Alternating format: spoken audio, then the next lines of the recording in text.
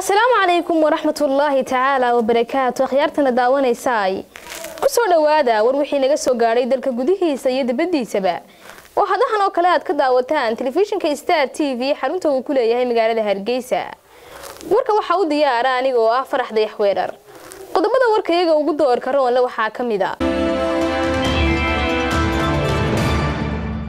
xukuumadda somalilan oo sheegtay inay baashe maxamed faarax u aqoonsatay gudoomiyaha golaha wakiilada somalilan.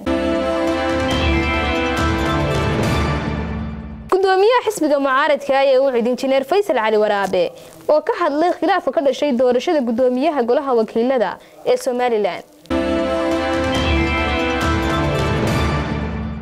Tv-ga starna wuxuu warbixin xiisa badnadan idinka diyaariyey xaaladda xarunta golaha wakiilada iyo muran ka dhashay doorashada gudoomiyaha golahaasi xisbiga kulmiye iyo wafdi uu hogaaminayo ayaa booqday deegaano ka tirsan degmada sheekh.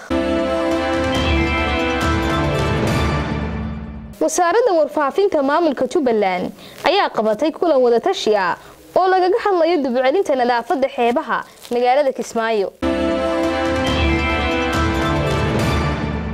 Dalka kenyana waxaa looga diyaargaroobayaa doorashada ka dhici doonta dalkaasi maalinta beriya ee salaasada